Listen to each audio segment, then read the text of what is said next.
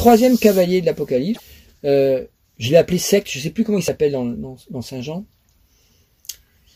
Euh, Saint Jean l'évangéliste, donc euh, il est lié à l'air. Alors pourquoi c'est lié? Oui, je reviens encore, je suis obligé de faire des allers-retours, c'est pas grave. Hein.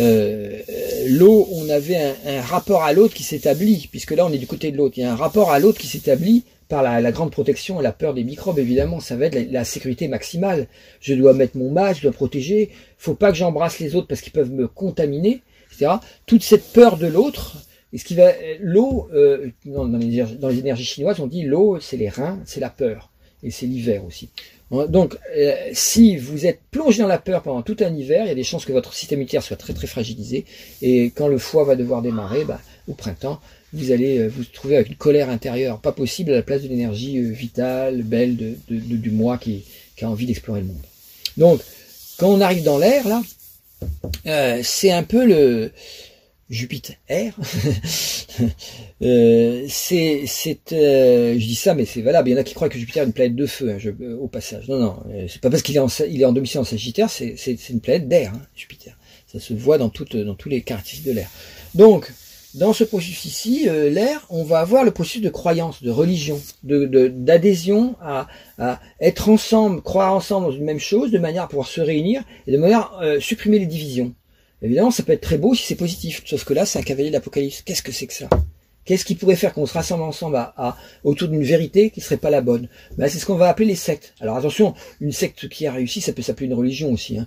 Faut, faut se méfier. Euh, euh, mais il faut pas non plus tout mettre dans le même sac. Il y a, dans la spiritualité authentique, il y a des, il y a des voies. Dans, dans le yoga, dans, dans toutes les religions, il y, a des, il y a des parties de certaines religions où des gens ont une spiritualité pratiquée. Alors souvent, ça demande des efforts. Il faut méditer, prier, travailler sur soi, dégager le corps, quelquefois faire des jeûnes pour, pour nettoyer le corps, de manière à euh, avoir une alimentation euh, non intoxicante, euh, évidemment, donc tabac, alcool, drogue et tout ça, mais, de côté, ça, c'est des raccourcis rapides pour avoir cette expansion de conscience, mais en fait, après, on la perd complètement au niveau des, des neurones et, des, et du système des, des hormones et du système de la Kundalini, donc ça sert à rien. Donc, en gros, ça peut ça peut déboucher des fois la conscience de certains, il y en a qui, voient qui prennent de ayahuasca et compagnie. Enfin bon, c'est très très, ça peut être très bon si on est bloqué comme beaucoup de monde au niveau de l'âme, c'est-à-dire qu'on ne sait pas. Mais une fois que la rencontre est faite, c'est pas la peine de retourner aller au distributeur de conscience spirituelle. Non, non, c'est un travail sur soi, conscience spirituelle, toujours, toujours, toujours. Si vous faites pas le travail sur vous, euh, vous l'aurez pas, vous y, vous y atteindrez pas. Donc évidemment, ceux qui comprennent ça se disent, il va falloir que je rencontre, on est du côté de l'autre ici, il faut que je rencontre des gens qui savent où est la vérité, où est le bonheur, où est tout ça. Et là, évidemment, il y a tout un marché, là aussi, sur Internet, de, attendez, euh, je suis éveillé, où j'ai rencontré l'extraterrestre, j'ai, où je suis un grand maître. D'ailleurs, j'ai le même nom, j'ai le nom presque le même qu'un, qu'un ancien maître de l'Inde ancienne, je reprends son nom, je le copie-colle sur mon nom. Encore une fois, confondez pas, confondez pas le, le, le pot avec l'étiquette qu'il y a dessus c'est un peu euh, dangereux. Donc là, euh, euh, faites gaffe. Voilà, quand des gens ont un nom spirituel qui ressemble beaucoup à un grand sage, vous pouvez chercher sur Wikipédia ou, dans bouddhisme ou hindouisme, les grands sages, vous pouvez chercher leur nom. Quand quelqu'un a exactement le même nom, c'est toujours un peu douteux parce qu'il bénéficie de l'aura, de la vibration que l'autre a chargée. Si quelqu'un dit voilà, je m'appelle Christ, c'est très douteux parce que le mot Christ est tellement chargé de vibration qu'il va, il va attirer à lui une sympathie énorme. Sauf que le fameux Jésus nous a prévenu, attention, beaucoup viendront en mon nom et méfiez-vous parce que c'est pas ça. Alors si c'est pas ça, c'est quoi? Bah, C'est quelque chose qui va se passer en vous. Alors il est monté sur un cheval blanc, celui-là, il y a des couleurs, mais on va pas toutes les faire. C'est-à-dire que quelque part, il prétend être du côté de la pureté. C'est-à-dire qu'il prétend être du côté du bon Dieu.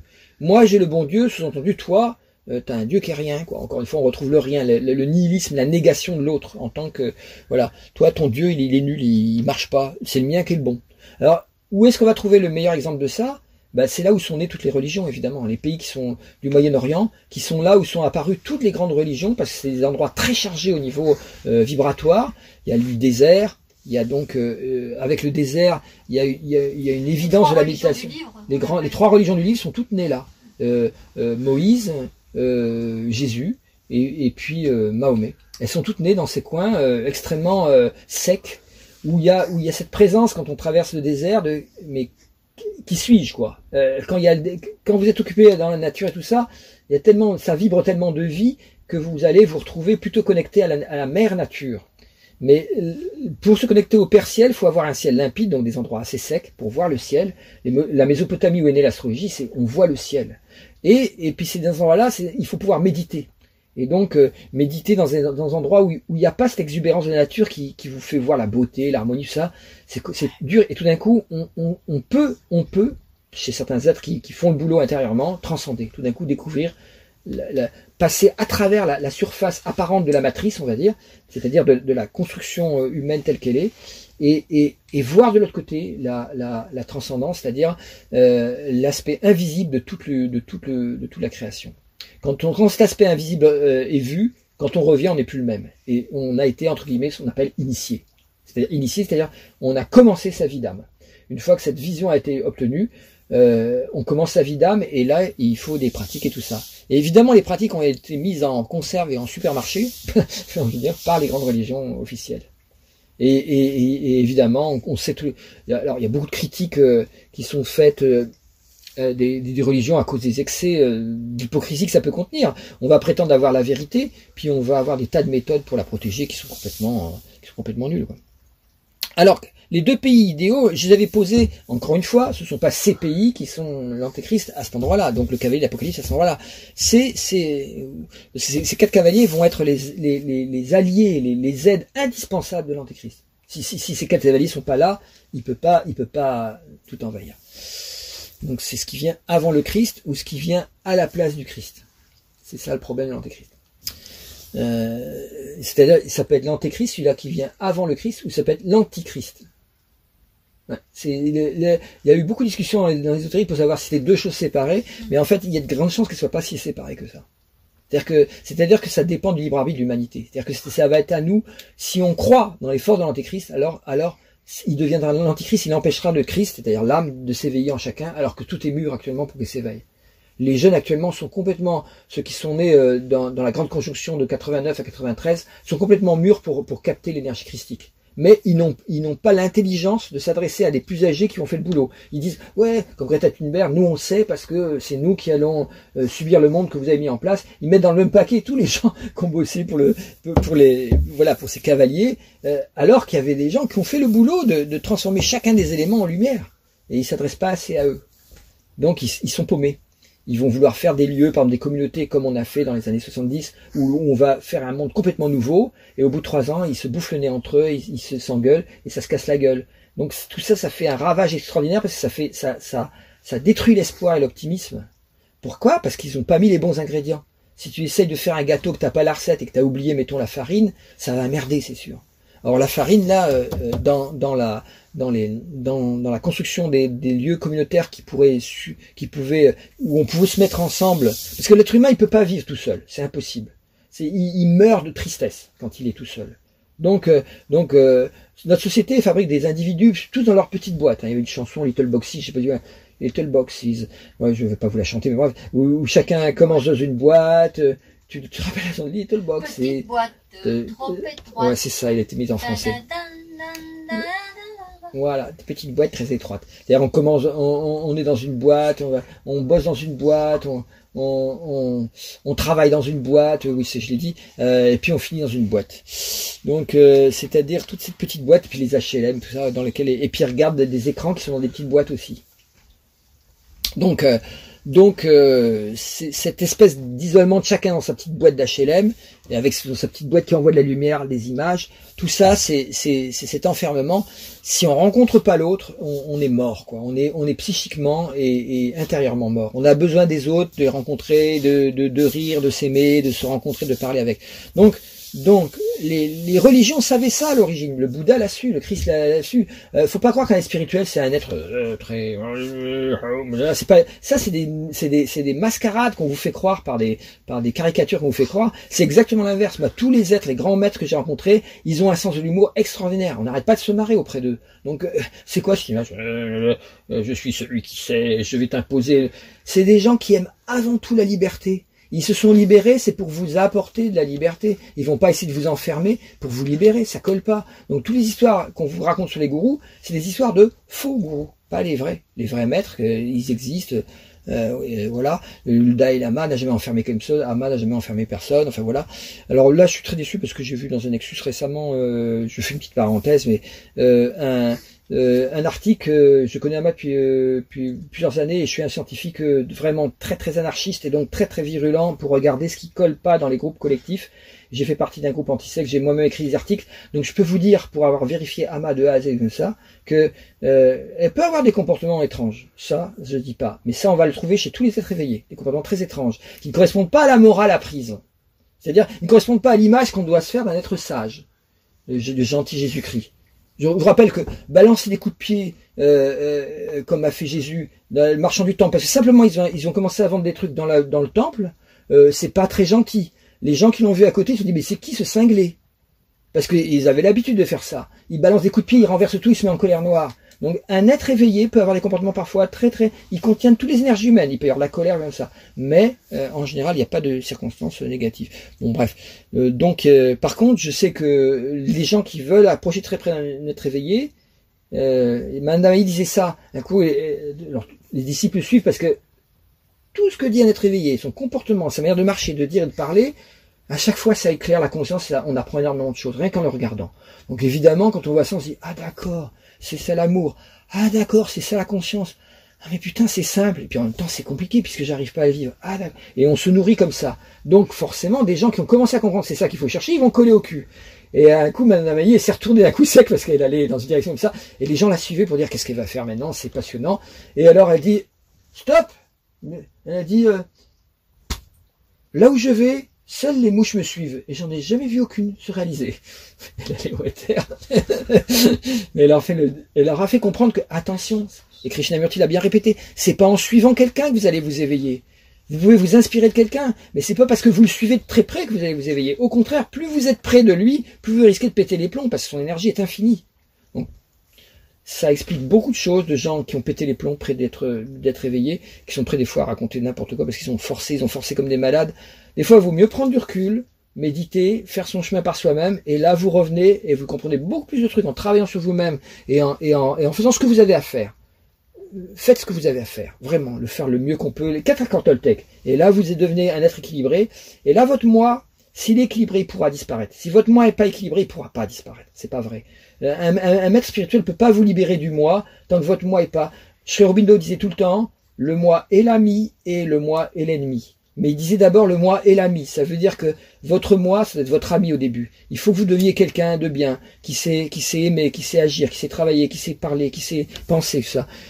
Donc l'école, tous les processus d'avoir un boulot, de, faire du bien, d'avoir une famille, tout ça, c'est ou de pas avoir de famille. On peut aussi ne pas avoir de famille. Tout ça, c'est très très bien. C'est quelque chose qui attention parce que si ça se renverse, non, vaut mieux le mettre en haut parce que là, c'est j'ai des disciples qui font des bêtises autour de moi. J'explique pour YouTube. des disciples. Voilà, non, non, j'ai pas de disciples, moi, vous inquiétez pas, c'est une blague, évidemment. Non, on peut plus présenter avec ça, c'est assez terrible. Donc les grands, les grands maîtres, euh, les grands maîtres sont, sont comme ça, et, et, et c'est pas en se rapprochant très près d'eux qu'on va mieux réussir. C'est en se rapprochant très près de, de ce centre-là, qui est l'âme, de ce centre-là, qui, qui, est la conscience. Donc voilà. Donc ça, c'est, c'est grosse parenthèse. Donc si on remplace cette présence du maître par ce qu'a dit le maître, ça devient le catéchisme. Euh, voilà, ça peut être Ama a dit, ça peut être euh, Jésus a dit, ça peut être euh, Jacques a dit, comme dans le jeu, Jacques a dit. Mais en fait, à chaque fois, vous, Krishna dit, si vous suivez trop la parole de quelqu'un et que vous, vous, vous regardez pas d'où vient votre pensée, vous êtes esclave de ce quelqu'un à la place d'être esclave de votre pensée. Il y a un léger progrès si quelqu'un est un éveillé, mais, mais c'est juste un léger progrès, ça va pas vous libérer. C'est pas en répétant les paroles de Jésus que Jésus disait, euh, ce n'est pas, ce, ne, sont pas ceux qui disent Seigneur, Seigneur qui se libéreront, mais ceux qui accompliront ma parole. C'est clair. Accomplir la parole des maîtres, c'est méditer. C'est méditer, faire le bien autour de soi, être dans la compassion et ne pas juger. Si, si vous faites pas ça, ben, vous n'allez pas vous rapprocher de l'âme. Donc voilà.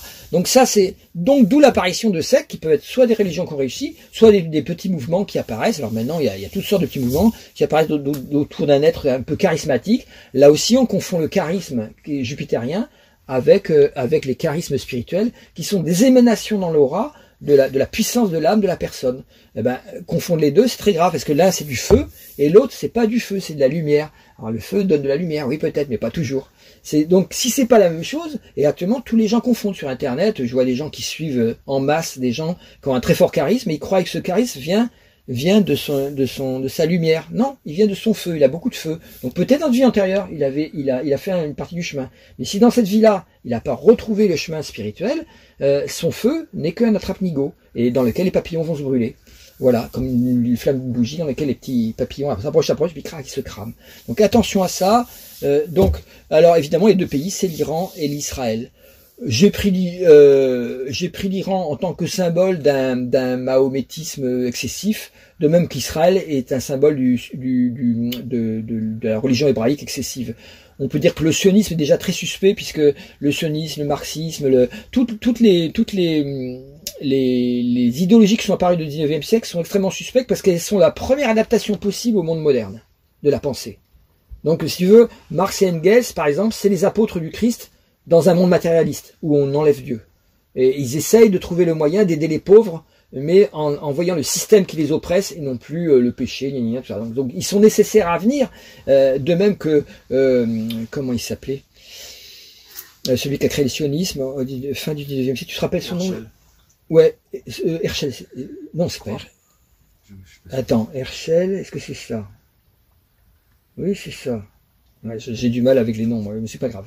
Donc euh, il, a, il a lancé un message qui est très intéressant, mais qui, qui, il y a beaucoup de grands rabbins qui disent non, non, Israël est intérieur. Ils disent comme moi, l'Israël est intérieur. Elle n'a pas de pays particulier, et le fait que le, ce peuple ait été vagabond euh, l'a obligé à se référer tout le temps à l'intérieur, à protéger son âme en fait. Donc on pourrait dire que la fin de protection de l'âme de, de, de, du judaïsme a lieu peut-être au moment où on a une terre sur lequel on va chasser les habitants précédents. Parce que s'ils étaient installés là en, ayant, en essayant de faire une harmonie, euh, évidemment la Jérusalem serait accomplie.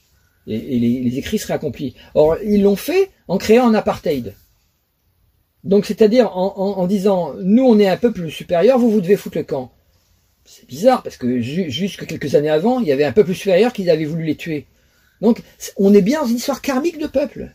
On n'est pas dans une... Ils n'ont pas libéré le karma de cette souffrance énorme qu'ils ont subie des familles entières décimées, c'est horrible quoi, ce, génocide. Mais ils n'ont pas pu digérer cette souffrance et ils le, et, et, du coup, c'est reprojeté karmiquement. C'est ça l'antéchrist. C'est un processus. Et là, et là, c'est reprojeté non plus dans le, matérialisme, non plus euh, dans le matérialisme financier, non plus dans le matérialisme médical. Ça s'est projeté dans la pensée même.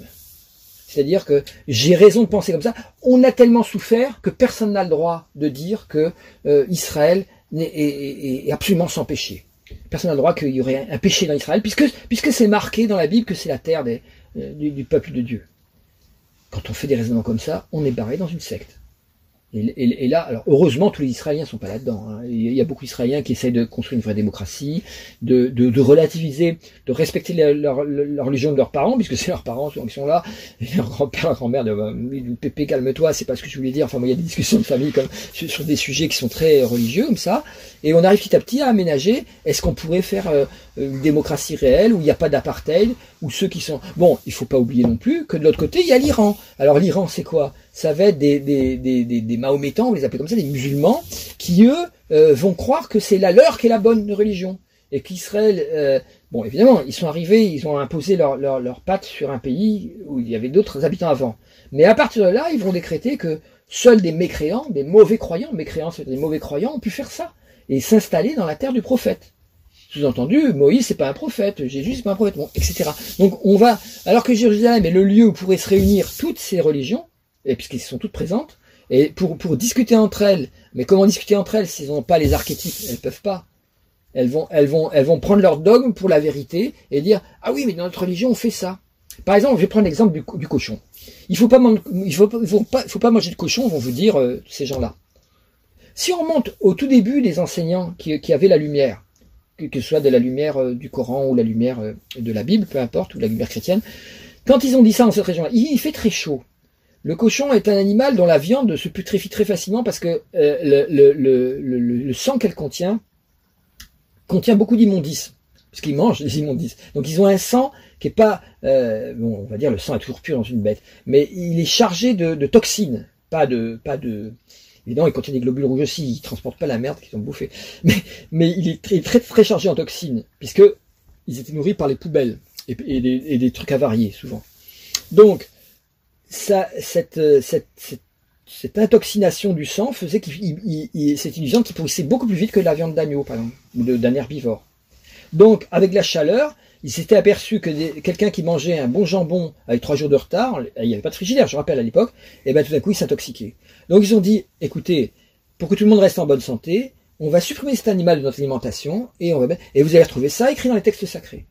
Mais pourquoi c'est sacré? Parce que la première chose qui est sacrée, c'est de protéger la santé humaine. L'être l'être humain doit pas manger normalement de viande, mais les gens veulent manger de la viande. Bon, on va vous dire, bon, vous voulez manger de la viande, bon d'accord. Parce qu'il y a des endroits où il y a rien d'autre aussi à bouffer, faut voir. Euh, donc ils ont dit bon bah d'accord, bah, vous allez plutôt manger les moutons mais pas les cochons. Voilà, c'est tout. Par exemple. Bon, évidemment le cochon a disparu de cette région puisque ça, ça, ça, a fini par. Mais voilà. Donc c'est plein d'exemples comme ça. Pas mélanger le lait par exemple avec euh, dans Shabbat, pas dans Shabbat dans la nourriture. Faut jamais manger. Euh, il faut pas cuire le l'agneau dans son lait. Euh, donc vous ne devez pas mélanger les protéines venant de, de laitière avec les protéines carnées. Mais ça, quand vous étudiez la diététique, c'est une très très bonne idée ça évite des tas de putréfactions intestinales qui peuvent entraîner des, maladies graves, et surtout des maladies d'ailleurs virales aussi, puisque les virus s'installent si vous avez un terrain comme ça, très acide, avec le mélange des protéines. Donc l'idée, euh, euh, manger de la viande, attention, ne tape pas sur le... attention. Prudence, prudence. Donc, euh, euh, si, vous, avez euh, mélangé des protéines qui sont peu compatibles entre elles, vous avez des, toxines qui apparaissent, une acidification du terrain, et donc vous, êtes un terrain idéal pour les virus. Voilà, comment ça se passe. Donc, c'est venu de vrais enseignements, mais on a perdu le truc. Alors maintenant, ah, le cochon, c'est l'animal de Satan. Le pauvre, il a rien fait de mal. C'est simplement que pour, voilà, pour le bouffer, c'est pas une bonne idée, quoi. Surtout quand il fait chaud. Donc on, va, on a plein de trucs comme ça. en France, il fait froid quand ils tuent un sanglier. Euh, les ancêtres, les Gaulois, quand ils tuaient un sanglier au mois de novembre, ils pouvaient le manger jusqu'au mois de décembre s'ils si, couvraient, s'ils faisaient attention. Ils faisaient gaffe. Il, y avait des intoxications aussi, mais il y avait moins de danger parce qu'il faisait froid pendant l'hiver. Voilà. Donc c'est des petits exemples. Donc Iran, euh, dogmatisme absolu de, la religion euh, du prophète euh, Mahomet. Et puis euh, Israël, dogmatisme absolu, mise sur la religion du prophète Moïse. Je ne pas les religions, hein, j'attaque le dogmatisme absolu qui va être mis dessus. Sous-entendu, l'autre se trompe, c'est un ennemi par définition. Évidemment, si vous résumez l'autre par ennemi par définition, vous pouvez vous faire que la guerre. Alors heureusement, il y a des gens qui ont fait par exemple des, des chœurs de, de musique, tu sais, avec, en mettant des Palestiniens et puis des Israéliens, ça qui chantaient en même temps. C'est ça le message, c'est que le cheval blanc, c'est que quelque part, ce type guerrier là euh, de la secte, il est monté sur un cheval blanc, c'est-à-dire un cheval de pureté. Il y a effectivement de la pureté dans la religion. Mais il faut aller à son origine, il faut aller sur la spiritualité d'origine qu'il a, qu'il a générée. Donc ça, c'est très important à comprendre aussi. Donc celui qui rejette la religion absolue comme si le mal venait de là, il n'a pas compris que l'antéchrist euh, chevauche religion. Alors, euh, on va voir le dernier, et là, on va voir le dernier passage, donc ça va faire un... Euh, j'ai fini là-dessus. Oui, bon, donc euh, à chaque fois que vous avez un dirigeant de ces pays-là qui, qui, se, prend, qui, confond son rôle de, directeur de, l'État avec un rôle religieux, que ce soit un Turc, que ce soit un, un, Égyptien ou ça, qui dit oui, moi je gouverne maintenant à partir du Coran ou à partir de la Bible, c'est ce que faisait Netanyahou par exemple, euh, il y, a, un gros gros danger. Parce qu'à ce moment-là, il, il, devient aveuglé sur la critique, l'autocritique nécessaire qu'il a à faire pour ses propres actes. Et ça, ça engendre des catastrophes euh, d'extrême droite, tout ça.